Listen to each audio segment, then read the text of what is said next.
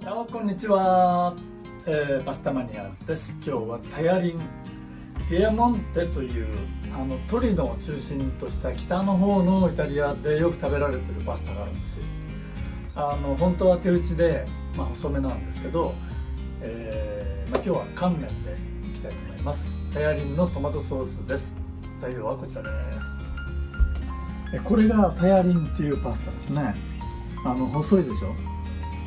でよく使われるのは白トリュフのパスタとかあとは、まあ、スープ仕立てのブロードっていうねにこう浮かんでる塩ラーメンみたいなパスタで食べるのが普通です、はい、通常はこれあの手打ちでね茹でますけどこれは乾麺です。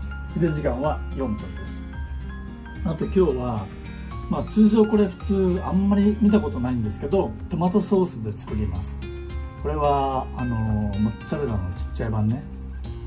からトマトソース。でしょこれはあのいつものパッサータというトマトのピューレですね。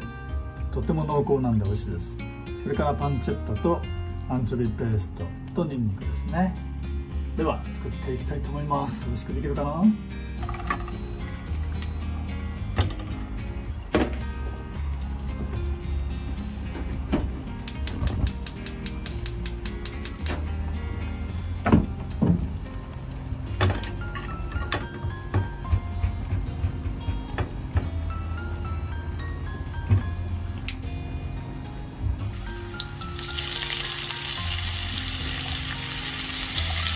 弱火で炒めていきますね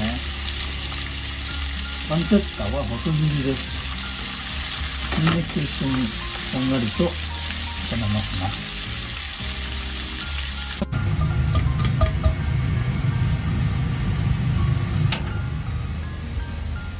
ちょっとこんな感じでフライパン傾けてあげるといい感じでなるんですよね。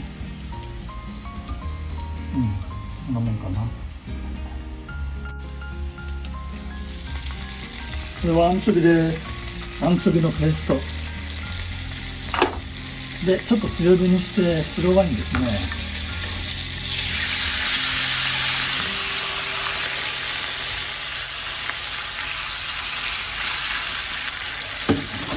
アルコールを飛ばすそしたらトマトソース。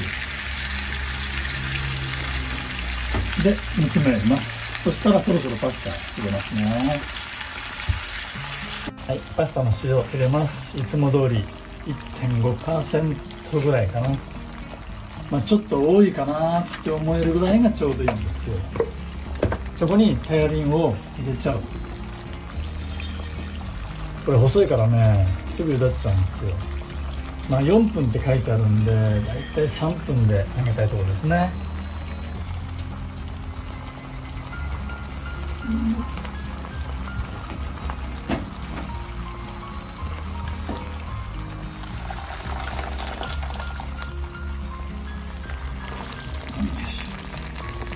ほんとラーメンみたいだよね。タヤリンって。まさにラーメンですよ。あとは なじませていって。完成ですね。で最後にはモッツァレラチーズをね入れるんですけどあんまり早く入れちゃうとひっついちゃって大変なことになっちゃうんでちょっと遅めに投入したいと思います。これで混ぜ合わせてまあ30秒から1分ぐらいかな。で最後に飾っておけばお皿の上で溶けていくのではなかろうかと。よっ。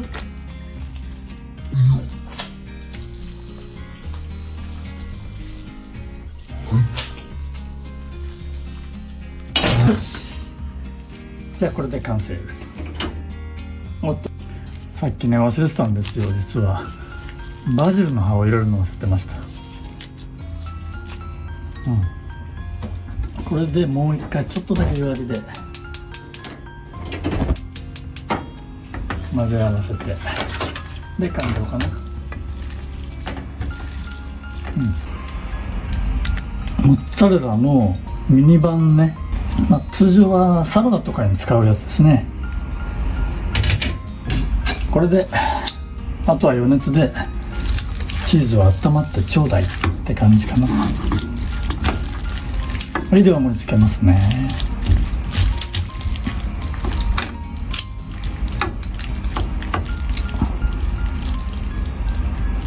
や。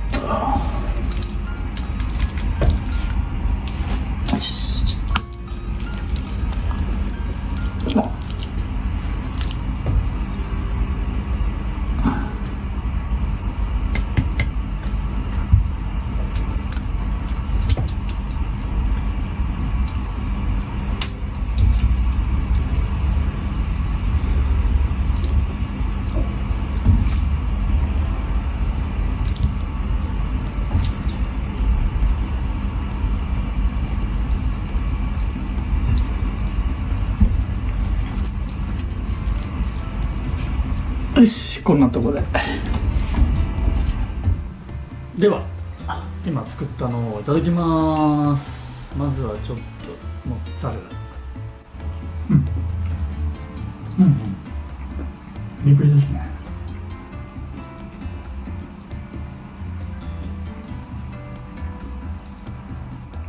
やっぱり麺が細いせいか量が多く感じられますねこれ結構な量かも。いただきます。それ。どうかな。うん。うん。うん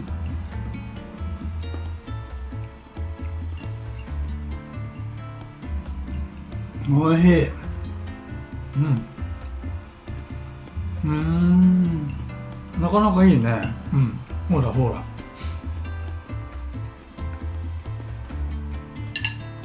あの思い出しましたよ。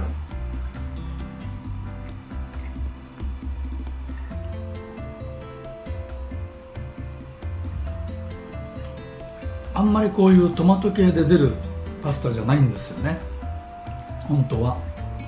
ただ一度そのピエモントの山奥の、まあ、ワインを探しに行った時かな。行ったレストランがねこういうのが出てきてねめっちゃくちゃ美味しかったんですよ。その時は具材が確かエビだったんですよね。エビトマトソースの細麺の卵麺ですよしかも。ああこういうのもありなんだと思ってね。で今日やってみたわけですわ。うん。うん。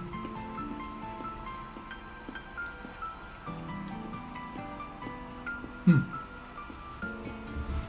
これねいいオリーブオイルをちょっとかけた方がうまいかも。これはシチリアのオイルですけどね。かけますよ。ちょびっとでいいんだけどね。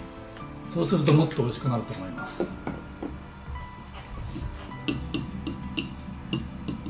本当にいいエクストラバージンオリーブオイルはこう料理作った後にかけると美味しいです。うん。うんうん。バッチリです。ああ美味しい。うん。いや美味しかったね。これはまあシンプルなマルマルゲリータのピッツァみたいなもんだよね。使ってる具材がそもそも。モッツァレラとトマトとバジリコでしょ。パンチェッタも入れてるんでそこはあれですけども。ねうん。やっぱりシンプルイズザベストだね。うん。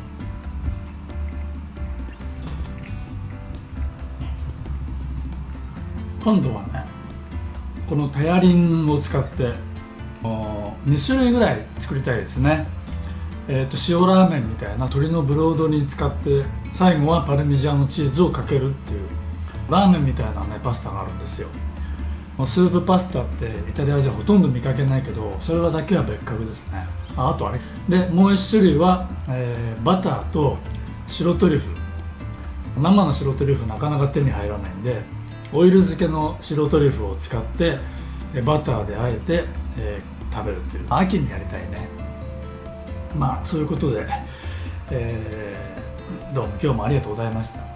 また次の動画でお目にかかりましょう。それではまた。チャオチャオ。チャオ。